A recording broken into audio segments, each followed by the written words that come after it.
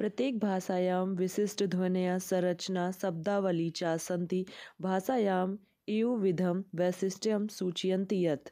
तो इसका आंसर जाएगा डी के साथ में, भाषा एक व्यवस्था वर्त, वर्तते, भाषा एक प्रकार की व्यवस्था है। नेक्स्ट क्वेश्चन है हमारा, शिक्षा अधिकार अधिनियम अनुसारम प्रत्येक छात्रम छात्र से अधिकारा अस्ति तो मातृभाषा अध्ययन अधिगंतुम, कि मातृभाषा का अध्ययन किया जाए, यही शिक्षा का अधिकार है प्रत्येक छात्र का, क्योंकि जो हमारी मातृभाषा होती है, वो सबसे ज़्यादा इंपॉर्टेंट है। अगर किसी भी ऑप्शन में आपको मातृभाषा मिले तो उसी में लगाना है आपको। विद्यालय शिक्षणे प्रथम भाषा अध्ययनम आत तो मातृभाषा या अथवा प्रांतीय भाषा या सबसे ज़्यादा इंपॉर्टेंट है। क्योंकि वहाँ की बोली जाने वाली भाषा और मातृभाषा, क्योंकि विद्यालय के शिक्षण में पहली भाषा का अध्ययन मातृभाषा ही करानी चाहिए। और ये सब आपको पता है, ये सबसे ज़्यादा इंपॉर्टेंट होगा। नेक्स्ट है हमारा भाषायाम शिक्षणे या केंद्रम भवती। भाषा का शिक्षण का केंद्र होता है बालक। और सारे ऑप्शन में आप देख लीजिएगा, अगर बालक है ना तो सबसे ज़्यादा जो पॉजिटिव आंसर जाएगा, वो बालक के साथ ही जाएगा। शिक्षा या कृत्य समाजे और औपचारिक साधनम यत वर्तते। ठीक है तो विद्यालय। ठीक है, शिक्षा का समाज में जो औपचारिक साधन है, वो विद्यालय है। विद्यालय में ही जाके बच्चा तरह तरह की चीज़ें सीखता है। ठीक है तरह तरह के लोगों से मिलता है। नेक्स्ट है हमारा। एक चीज़ और बता दें आपको। जो इम्पोर्टेंट क्वेश्चन है, पिछले साल आए, वही मैं करवा रही हूँ। ठीक है, रचनात्मक शिक्षणेन अभिप्राय अस्ति। ठीक है तो जो है, आपको देखना है कि रचनात्मक जो शिक्षण का अभिप्राय क्या होता है। आप बताइए। तो इसका आंसर सी के साथ जाएगा। छात्रा स्वभाव, अनुभव गुणम, पाठ्य संबंधम, शब्द पदम, वाक्य दिनाम, व्याख्याम कुरंती ठीक है? नेक्स्ट है मैम हमारा। संस्कृत शिक्षण से प्राचीना प्रणाली अस्ति। संस्कृत का जो शिक्षण है, वो प्राचीन प्रणाली है। उपयुक्त सर्वा प्रणाली ठीक है? प्रत्यक्ष विधि भी, पाठ्यपुस्तक विधि भी, पाठशाला विधि भी। ठीक है? तो ये सारी ही जो है शिक्षा देने की जो संस्कृत की प्रणाली है। नेक्स्ट है हमारा, व्याकरण शिक्षा से या न्यूनता रीति वर्तते। तो ये भी आपको पता होना चाहिए कि जो आगमन और निगमन की रीति, ठीक है, आगमन और निगमन विधि जो है, यही व्याकरण शिक्षा की सबसे न्यूनतम रीति जो है जो है मतलब कह सकते हैं सबसे न्यूनतम विधि है, ठीक है। नेक्स्ट है हमारा, वाक्य कौशलम इति अस्य सम्यक वर्धते, ठीक है। तो वाक्य कौशल में सबसे ज़्यादा सहायक कौन सा, कौन होता है? अभिनय, गोष्ठी, चिंतना चा ये तो ऑप्शन सी के जा सी के साथ यहाँ पे जाएगा, ठीक है? इसको एक बार अच्छे से देखते चलिएगा, क्योंकि मोस्ट जो है इंपॉर्टेंट क्वेश्चन है तो आने के चांसेस बहुत ज़्यादा है। नेक्स्ट है हमारा व्याकरण शिक्षण संबंध, युक्त युकम परिदृश्यम किम। ठीक है? तो इसका भी जो हमारा आंसर जाएगा, आप लोग बताइए क्या जाएगा? जाएगा हमारा डी के साथ में व्याकरण नियमानम, सिद्ध, यर्थ, लेखन, कौशलाभ्यास यू समाचीना उपाया। ठीक है?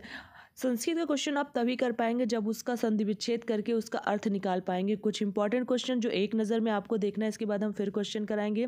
लेखन कौशलस्य विधि अस्थि मांटेसरी विधि। अक्षर शब्द स्वरूपस्य ज्ञान अस्मिन कौशले, लेखन कौशले। कथा विधि अस्य कौशलस्य विधि अस्थि पठन कौशले। देखिए जो कथा विधि ये वाला क्वेश्चन है मोस्ट इंपॉर्टेंट है मा, मांटेसरी विधि वाला भी मोस्ट इंपॉर्टेंट है तो देख लीजिएगा अच्छे से। पठन कौशल से श्रेष्ठ विधि अस्ति। पढ़ने की जो, जो कुशलता होती है उसकी सबसे ज़्यादा श्रेष्ठ विधि क्या होती है? पद पद्धति। भाषला कौशल से क्रमशः चरणानी तो भाषा कौशल का क्रमशः चरण होता है श्रवण, भाषणम, पठनम, लेखनम। इसको बहुत अच्छे से देख लीजिएगा। ध्वनि विज्ञान से संबंध है कौशले के। तो ध्वनि विज्ञान का जो संबंध का कौशल होता है, वो होता है श्रवण भाषण से। ठीक है? दूसरा जो है, क्या कहते हैं? भाषा जो कि कुशलता का जो चरण है इसको अच्छे से एक बार देख लीजिएगा। नेक्स्ट है हमारा लेखन कौशल से पत्र लेखन ठीक है? पठन कौशल से उद्देश्य अस्ति। पठन कौशल का जो उद्देश्य होता है, वो क्या होता है? पठित्वा अर्थ ग्रहणम। ठीक है? पढ़ो और उसका अर्थ ग्रहण करो। ठीक है? नेक्स्ट क्वेश्चन की तरफ़ अगर हम बढ़ते हैं तो मुख्यतः भाषा शिक्षण से संबंधा केन सा अस्ति? ठीक है? मुख्य रूप से भाषा शिक्षण के संबंध में कौन किसके साथ है? किसका? बताइए। ज्ञान का होगा ना? ज्ञानात्मक प्रचुर्य नेक्स्ट है हमारा भाषायाम कौशलानी संति। तो भाषा की जो कुछ जो है कौशल हैं, वो चार हैं। ठीक है? चार होते हैं मुख्य रूप से। मुख्य रूपेण संस्कृत भाषा शिक्षण उद्देश्य मुख्य रूप से संस्कृत भाषा का शिक्षण क्या होना चाहिए? संस्कृत भाषा या दक्षता। ठीक है? ये मोस्ट इंपॉर्टेंट क्वेश्चन था। श्रवण कौशल से बलाघाता इतिकता प्रयुक्त दृश्यते। ठीक है? मौखिका, अभिव्यक्तम, भाषा, इसका जो है बलाघाता इतिकता प्रयुक्त दृश्यते इसका मौखिक अभिव्यक्ति करना, ठीक है? नेक्स्ट क्वेश्चन है हमारा ध्यान से देखिएगा सारे क्वेश्चन सतत व्यापक मूल्यांकन, इत्येन संबंधा, व्यापक इति, संकल्पना छात्र से बुद्धि विकासत करते पश्चिम विविरोधी तो ये होगा शैक्षणिक, सह शैक्षणिकों ठीक है? ये क्वेश्चन आया था पिछली बार में तो एक बार एक देख लीजिएगा। अगर मैं सबका अर्थ बताते चलूँगी तो वीडियो बहुत बड़ा हो जाएगा। कस्यापि जनस से विशिष्ट क्षमता नाम कौशला नाम यथा संगीत, विज्ञान औषध इत्यादि नाम रचनात्मक अन्वेष्टु मापयितुम कृता परीक्षा किम कथ्यते? तो अभ्य अभिवृत्ति परीक्षा, एप्टीट्यूड टेस्ट होता है, जिसमें क्षमता, कुशलता, संगीत, विज्ञान, औसत सब चीज़ की जो है परीक्षा ली जाती है। निम्नलिखित निम्नलिखित की समाविष्टि कक्षया संबंधम ना। ठीक है। तो देखिए, समाविष्टि कक्षा जो होती है, उसमें देखिए जो है सहानु, सहानुभूति भी होती है, ठीक है? समानु समान समानुभूति भी होती है, सहयोग भी होता है, सहकार्यता भी होता है, लेकिन सहानुभूति, सिंपैथी नहीं होती है, ठीक है? तो समाविष्टि कक्षा में हमेशा याद रखिएगा, सिंपैथी नहीं होती है, यानी सहानुभूति नहीं होती है। एका शिक्षिका चित्रेण सहगृह से दृश्य, वर्ण संलग्ना चित्रे पिता पाकशालायां पाक क्रियाम संलग्ना, माता संलग्न कश्य, सहयानी कार्य कार्ये संलग्ना पुत्रा च सीवन प्रक्रिया लग्ना अध्यापक चित्रद्वारा किम स्पष्टीकर्तुमिति तो लिंग संबंध पूर्व अधारणम मतलब पूर्व जो अनुमान जो की जाता है, उसका उन्मूलन करना, ठीक है? विभिन्न विषयाणाम ज्ञानस्य कृते विद्यार्थिना मातृभाषायाम उपयोगा। आंसर जाएगा ज्ञान प्राप्त सहायम करिष्यति। ठीक है?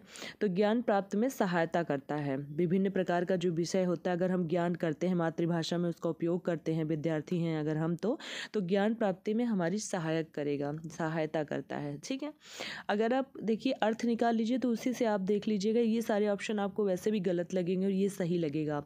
शिक्षिका कक्षायाम स्थितानाम वस्तुनांक, नामानी कर्गतपट्टिकायां लिखित्वा उपरी उपरि आरोपयति यूसा तो कच, इसका ऑप्शन जाएगा जो है सी के साथ में कक्षायाम वातावरण, मुदित पठन सामग्रीमय करोती। ठीक है? अगर इसका अर्थ निकालेंगे, आप तो बहुत सारे लोग ई में लगा देंगे, लेकिन याद रखिएगा, यही हमें समझना होता है कि घुमा के क्वेश्चन दिया है। यहाँ पे ऑप्शन सी के साथ जाएगा। नेक्स्ट है हमारा प्रोडक्टिव जो है ओकावली मतलब कि उत्पादक सप्तावली, सन्निवेशियति तो संभाषण समय, लेखन समय चा प्रयुक्तान शब्दान। ठीक है? नेक्स्ट क्वेश्चन की तरफ़ अगर हम बढ़ेंगे तो उसके पहले एक चीज़ बता दें कि ये जो क्वेश्चन है, ये क्वेश्चन पिछली बार जो है, नौ जनवरी को या हाँ नौ जनवरी को ये पेपर आया, ये जो क्वेश्चन था, आया था मोस्ट इंपॉर्टेंट है। और ये उत्पादक सप्तावली एक बार देख लीजिएगा। नेक्स्ट क्वेश्चन है हमारा लेखन से प्रक्रिया स्वरूपानुसारम शिक्षिका विमर्शन सह प्रारंभम करोति अत्र विमर्शा इत्यस्य आशया बताइए जल्दी जल्दी, क्या होगा इसको? पहला ऑप्शन जाएगा। उपस्थित विषयों पर विचाराणाम संग्रह उपस्थापनम च। ठीक है? और अगर आप देखिए जो है एक एक चीज़ का अगर मैं अभी अर्थ निकाल के आपको समझाऊँगी तो नो डाउट आपको बहुत अच्छे समझ में आएगा, लेकिन वीडियो बहुत बड़ा हो जाएगा। और इसके बाद मैं कुछ इंपॉर्टेंट वर्ड डाल दूँगी, जिसका संस्कृत अर्थ आप निकाल लीजिएगा। केचन छात्रा सूची लिखित उत्तरेभ्य, शीर्षक सहित समुचितम उत्तरम अन्वेष्टम निर्दिष्टा, पूर्व इव ते समग्रया स्वरूप विषय किंचित प्रष्टुम इच्छति इदम किम छात्रा? सक्रिय रूपेण समग्रया संदर्भे पूर्व अनुमान प्रक्रियायाम ठीक है? वही क्वेश्चन है। पूरे अनुमान की क्रिया पे विचार मंथनम सप्रयोजन भवती। ठीक है?